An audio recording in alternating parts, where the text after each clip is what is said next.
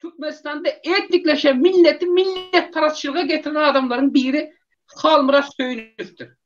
Kim şu ya şu hakkında malumat isteyen olsa yine ben Türkiye'de gelin benim karşıma çıkın benim karşıma keminesi olsun rövşen olsun sapar maksadı olsun tapağı Beydipol ekranın anırtını sıkıy haybatat mı? Kimem olsun? Ben bir soru vereceğim.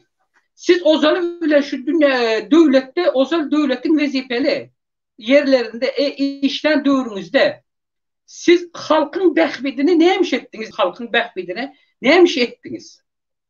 Ve nemeler amala aşırdınız? Ve şu işler dövrünüzde öz behbidinize hıyanatçılıklı vezipenizden peydalandınız mı peydalanmadınız? Vakay canini sen şu soru ilkinci kalkan bilen ecini ver.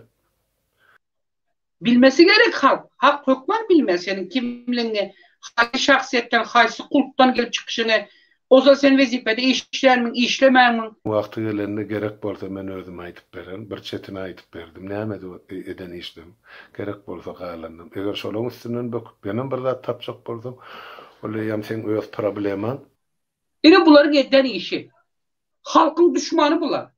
Halkın düşmanı. Ol oylar gidinde başa verilen oyna gayrat edin.